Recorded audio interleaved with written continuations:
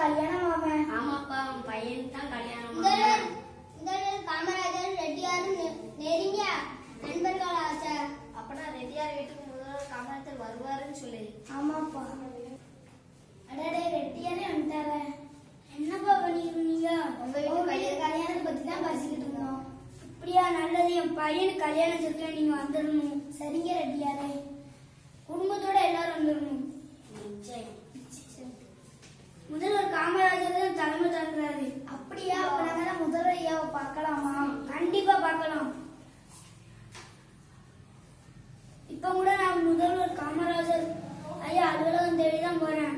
அவரை கல்யாணத்துக்கு அழைப்பு கொடுக்க போறேன் சரிங்க ரெட்டியாரே போயிட்டு வாங்க காமராஜர் முதல்வராக இருந்த சமயம் அலுவலகம் தேடி ஒரு எளிய மனிதர் கையில் மஞ்சள் பையுடன் வந்தார் ஐயா அப்புறம் பாக்கா ரெட்டியார்னு ஒருத்தர் வந்திருக்காரு உடனே வர சொல்லுங்க நீங்க போறீங்களா வாங்க ரெட்டியாரே சௌக்கியமா என்ன செய்தி இல்லைன்னா சும்மா அஹ், நம்ம பையன் கல்யாணம் வச்சிருக்கேன் நீங்க வந்துடணும் அடடே நல்ல செய்தி தானே அதுக்கே இப்படி தயங்குறீங்க?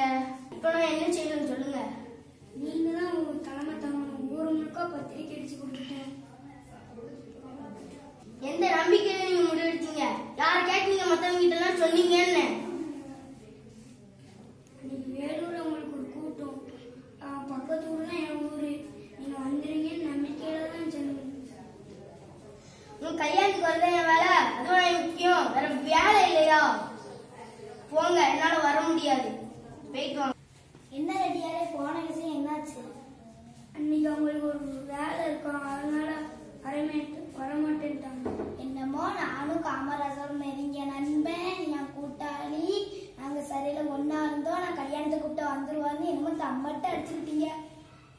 பாத்தீங்களா அலம்பலா. அமராஜரையா வாங்க வாங்க என்னது ரெட்டியார் வீட்டுக்கு காமராஜர் வந்துட்டாரா வாங்க எல்லாரும் போய் பார்ப்போம் என்ன ரெட்டியாரே போராட்டம் ஜெயிலுன்னு எல்லாத்தையும் இழந்துட்டீங்க உங்க கஷ்டம் எனக்கு தெரியாதா ரெட்டியாரே.